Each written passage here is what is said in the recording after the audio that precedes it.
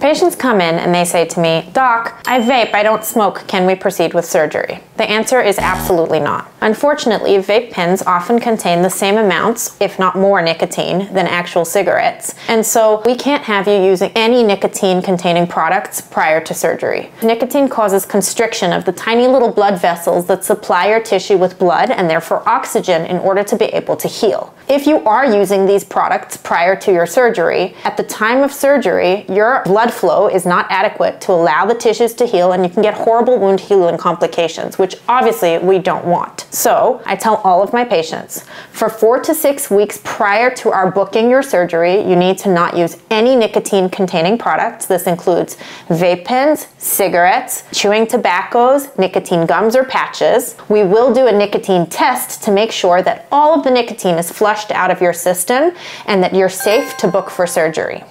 After the surgery, of course, I'm a doctor. I'm going to tell you don't go back to vaping or smoking. It's not good for your health. However, I understand that some patients do like to vape or smoke, and they are going to do that regardless of what I want. And so I ask that they at least give their body the six weeks it takes to better heal so that when they do start vaping or smoking again, they're not getting those horrible wound healing complications that can happen with nicotine use.